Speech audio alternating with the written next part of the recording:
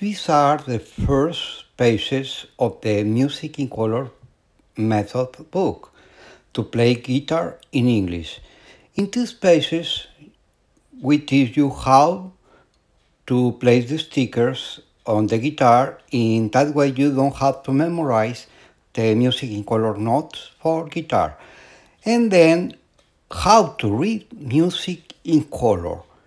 We have also the instructional videos here in YouTube, Music in Color by Oscar A. Quiroga. Thank you very much.